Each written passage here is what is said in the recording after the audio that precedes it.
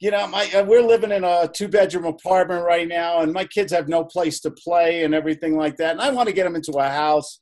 Um, I'm pre-qualified and everything like that. The kids, you know, it's all concrete around where we live. There's not a damn tree or a squirrel anywhere around. Uh, I want my kids to run. You know, I used to. I grew up on a farm. I want my kids to run through some grass and stuff like that. Uh, you got anything like that? Uh, yeah. Uh, let me ask you a quick question. Uh, you, you, you. If I was able to find something like that, that uh, would, how would that make you feel?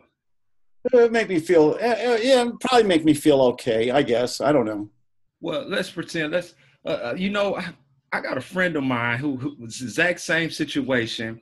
Um, you know, he, him and his family, he had three kids, his wife, they lived in an apartment complex and uh, had neighbors above them that would have all kind of cats and dogs and they were really down on their luck. But you know, uh, what they were able to do was uh, they ended up having a change in their in their life and, and then they got this great place where it was you know, had a swimming pool, had a huge, large backyard.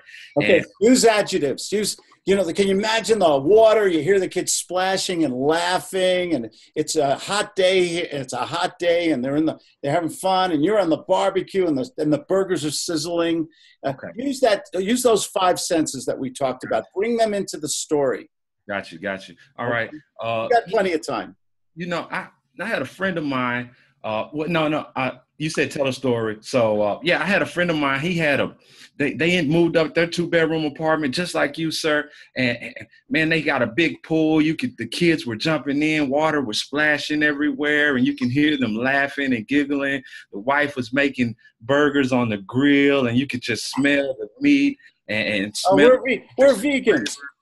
Uh, well, well, you know, you could grill peppers and onions, and, and, and, and you know, have the most delicious uh, smells, and, and, just the weather, the breeze was nice against their face and everything. And I was able to find them a property uh, that that they only dreamt about. If I could do that for you, you know, imagine what what would you want to? How, how would that make you feel? You know, I, I just want the kids to grow up in a better life than I had you know, I, I, I, can't stand that they're in this concrete jungle right now. I mean, I want a house. Uh, I want a place that, uh, you know, they can have the grass and, and the manure between their toes. Um, let's imagine for a second, Claude. Just pretend, close your eyes. Imagine that you were able to have your kids in this wonderful place where they had grass between their toes. They run out into the fields and roll in the grass and, and, and, play with their pets. And you were able to be a happy father as you saw them enjoying the things that you were able to enjoy. Is, is that something that you would like to do today? Yeah. Is it going to be expensive? Uh, maybe. Oh, that's good. Okay, you got you got it you, you, painted a vision. I, he said something. Did anyone pick up what Chris said? He said one thing that not many of us say very often about the eyes. What did he say? Did anyone pick that up? That he said that to me, and I did it. By the way, I did it immediately. What did Chris? He said, "Close your eyes." Adrian, back. Adrian. Oh, Misha's jumping up and down there like John, like um, uh, what's his name? Oh, on on the Oprah show on the couch. What was his name? Oh God, no, no, no. no. remember that guy? Remember? Yeah, I know uh, that guy. That guy and I have a history. Not that guy. That that actor. Uh, help me out. Tom Cruise. Tom Cruise. Nastiest human beings on the face of the earth. I know this firsthand. Yeah.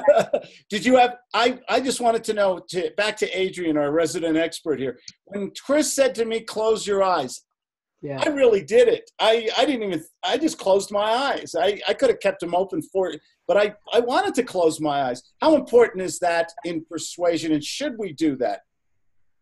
That's a good question, actually, because when he said when he when he did it, I was actually thinking. Um, the reason I didn't I didn't I didn't mention it is because it's so natural to me in a, in a hypnotic context, but in sales, like I don't I don't think I don't think people do, and Hopefully, he's not driving. Hopefully, I was not driving a car when I was doing it. Of course. Yeah. No, no, but it's, no, but it's actually really interesting because because of the fear um, people have of hypnosis and people are becoming more and more aware of it. and especially with the likes of the man that got charged in America for that sexual assault. I don't know if you read about that.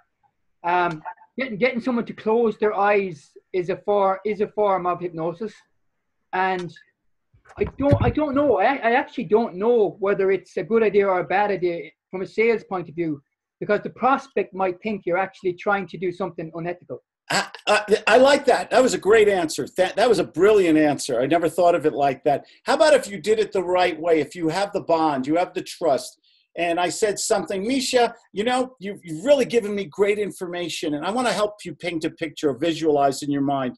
Eh, you know, are you in a comfortable place, Misha? Yes, I am.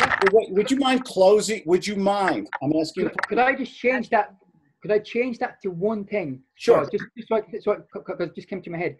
Rather than um, if you mind, um, you could say something like, um, and then then you're giving them choice, so they can't say anything to you. I would say something like, if you were to close your eyes. Okay, thank you. Good constructive I, criticism. I imagine something like, would it be okay? That's choice. I like yeah, that choice. Yeah, but but would would it be okay? Is um, you're you're still asking them. Okay. Would it be okay? Would it be okay? Is asking them where, and, where if you were to, is giving them the option whether they want to or not.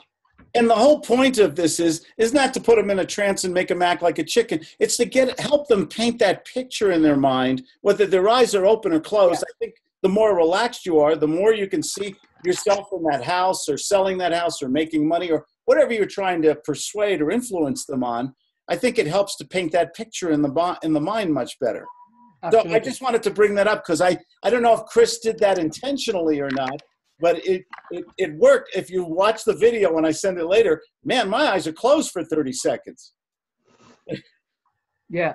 I'm very susceptible to suggestion. If you talk to me about a wonderful pizza with with all the trimmings and, and a good glass of uh, of, um, of, of, of, wine, red French wine, and everything. And, uh, you know, I'll start salivating. That's how easy I'm.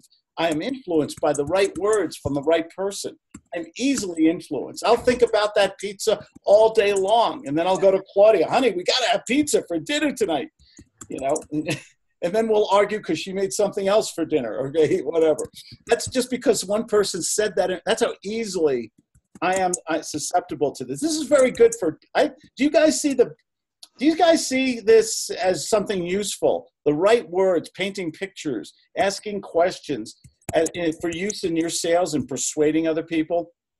Yeah. To me, this is so much more valuable than giving a, a speech or a canned presentation or getting, getting so much more emotionally involved with people. Let's do another role play. Um, okay, somebody, who's next? Who has